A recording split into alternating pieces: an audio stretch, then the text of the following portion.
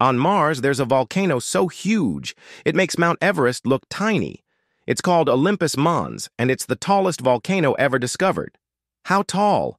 Try three times higher than Everest, rising 13 miles into the sky. And it's wide, too. This monster volcano is the size of the entire state of Arizona. But here's the crazy part.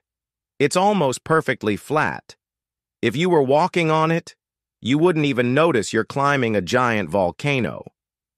Olympus Mons grew so massive because Mars has low gravity and its crust doesn't move like Earth's.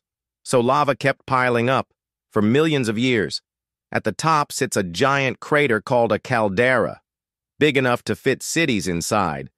Scientists think Olympus Mons might have once been active, and some even say it could erupt again one day.